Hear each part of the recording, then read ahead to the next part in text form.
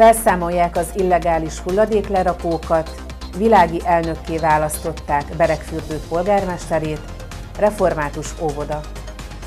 Jó estét kívánok! Önök a Nagykunsági híradót, a Karcak Televízió napi hírműsorát látják 2021. március 5-én 18 óra 5 perckor.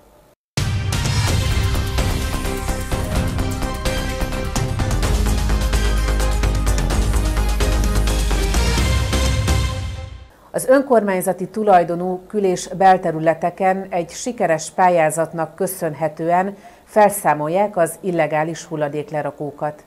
A részletekről magyarkán beszélgettünk a szakemberekkel. Mint Hamar Bence, a Nagykunsági Környezetgazdálkodási Kft. munkatársa elmondta, jelen pillanatban Magyarkán számolnak fel vegyes hulladékot, települési kommunális hulladékot. Gumiabronstól kezdve bálamadzag, kötegelő madzag, szalagok, rongyok, tehát mindent, tehát vegyesen, fóliák vegyesen, minden található. Nagyságrendileg még ugye nem tudunk súlyokat, ezek még most lesznek kiszállítva, de már történt kiszállítás Kartagnak a belterületén, az északi és a déli külvároson.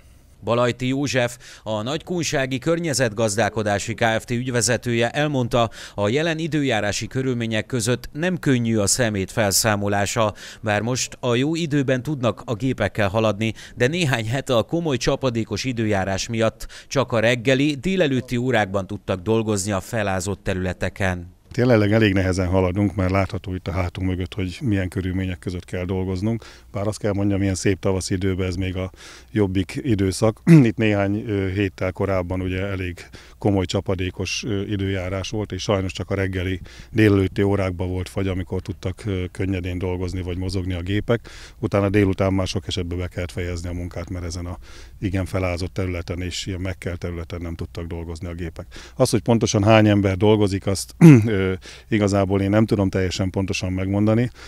Egy partnercég bevonásával közösen végezzük itt ezt az illegális lerakónak a felszámolását.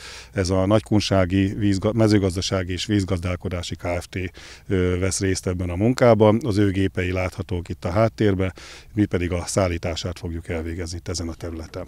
Most azon a területen, amit már felszámoltunk, ott hála Istennek nem képződött újra a hulladék. Sajnos vannak még olyan területek ott a külvárosi részeken is, amelyek szintén be lehetne avatkozni, de azok elsősorban magánterületek, tehát nem önkormányzati területek. Itt jelen pillanatban mi feladatunk az, hogy az önkormányzati területekről ezeket az illegális hulladék elhagyásokat felszámoljuk, ott pedig a városgondnokság segítségével végeztük el ezt a munkát. A belügyminisztérium több ütemben ír ki pályázatot a Tisztítsuk meg Magyarországot program keretében.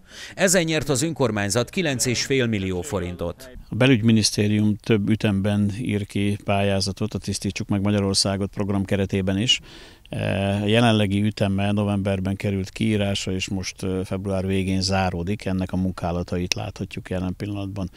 Ez egy 9,5 millió forintos pályázati 100%-os támogatottságú e, projekt, amely kapcsán megújulnak a Karcag önkormányzati területein illegálisan ott hagyott szemetek, hulladékok, építési törmelékek, tehát a kommunális és a, és a mindenféle elhagyott törmelékek Kétfelé kell vennünk magát a pályázatot, az egyik a belterületi részeknek a megtisztítása, amely ugye hallottuk az előbb, hogy az északi és a déli e, városrészen került felszámolásra, ami probléma, és ugye szintén hallottuk, hogy, eh, hogy önkormányzati területekről nagyon sok olyan terület van, amely magánkézben van, tulajdonosa van, és mégis oda hordják az elhagyott eh, portákra, az elhagyott épületekre a szemetet. Erről nem szól a pályázat, én remélem, hogy, hogy a következő ütemek akár ezt is lehetővé teszik majd. A másik pedig azok a külterületi határrészeknek a megújulása is, ami jelen pillanatban itt Magyarkán is zajlik, hiszen évekkel, évtizedekkel ezelőtt akár ide hordták ezt, a, ezt az építési törmeléket, amelytől szeretnénk megtisztítani a, a határrészeket több hely is van. Én bízom abban, hogy a következő pályázati ütemek úgy, ahogy a belterületi részeken is majd lehetővé teszik azt, hogy a külterületi, külterületi részek is megújuljanak. A február végéig tartó pályázat másik része az önkormányzati külterületek megújítása. Ez zajlik most Magyarkán.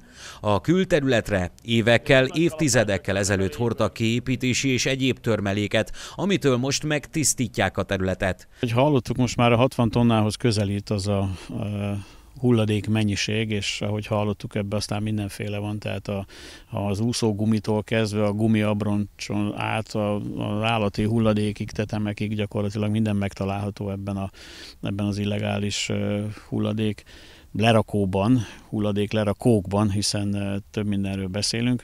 Én kérdeztem a szakembereket, hogy ezt hogy kell elképzelni, mondjuk így négyzetméterben van nagyságra, de hát ez egy ilyen családi ház méretű, ami jelen pillanatban elszállításra került, és ahogy nézzük, látjuk a határban több családi háznyi illegális hulladékot is föl kell még számolnunk.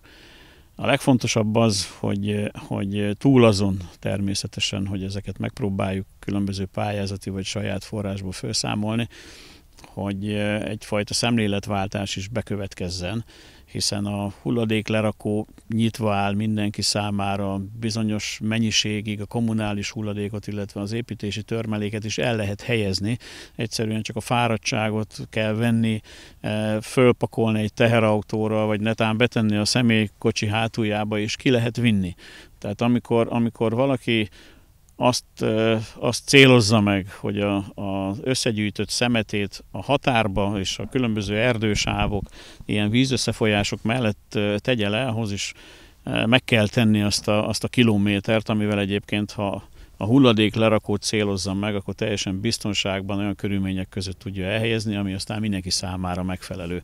Tehát én arra kérek mindenkit, aki, aki kommunális hulladékot, építési törmeléket szeretne elhelyezni, hogy keresse a szakembereket, hiszen megvan rá a megoldás karcagon is. A projekt kapcsán felszámolják az önkormányzati tulajdonú területen lerakott kommunális szemetet építési törmeléket. A pályázat egyik része volt a déli és északi városrészen az önkormányzati rész megtisztítása. Az önkormányzati területek mellett azonban nagyon sok olyan magántulajdonban lévő elhagyott porta, épület van, ami szemetes. Erre nem szól a jelen pályázat, fogalmazott a városvezető, aki reméli, a következő pályázatok már ezen részek felszámolását is lehetővé teszik. A Magyarországi Református Egyház legfőbb törvényhozó testülete, a Zsinat február 17-én világi elnökké választotta Molnár Jánost, a Tiszántúli Református Egyházkerület főgodnokát, Berekfürdő polgármesterét. A Nagykunsági Református Egyházmegye egyházmegyei gondnoka volt Molnár János több egyházi ciklusban, majd egyházkerületi világi főjegyzővé választották, végigjárta a ranglétrát. Évvégén a Tiszántúli Református Egyházkerület egyházkerületi főgondoka lett, két hete pedig a Zsinat világi presbiteri, azaz nem lelkészi elnökévé választották. Polgármesterként és egyházi vezetőként is nagyon fontos számára a személyes kapcsolat kialakítása, a meglévők elmélyítése, tájékoztatta a Karcak Televíziót Molnár János. Hírstúdiónk vendége nagy tiszteletű Konc Tibor Esperes, akivel a református óvoda terveiről ad tájékoztatást. Mai vendégünk nagy tiszteletű Konc Tibor Esperes. Üdvözlöm Esperes urat, és köszönjük, hogy elfogadta a meghívásunkat. Köszöntöm, és én is köszönöm a meghívást. Egy hatalmas beruházás elején vannak nevelési intézmény tekintetében. Mit lehet tudni a részletekről?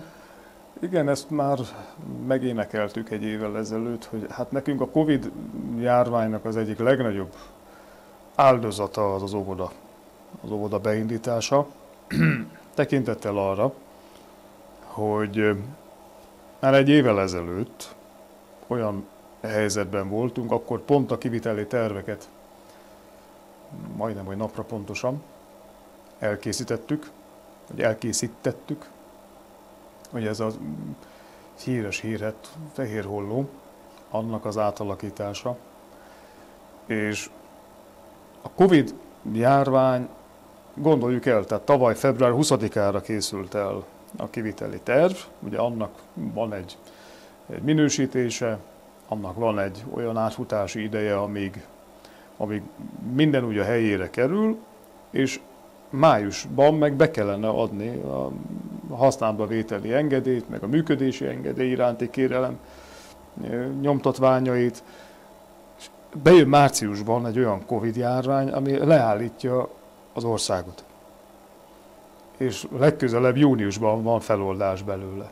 Tehát pont az az idő, amire azt mondjuk, hogy na, ha igazán effektív munkavégzésre alkalmas, az kiütődik. Semmi gond.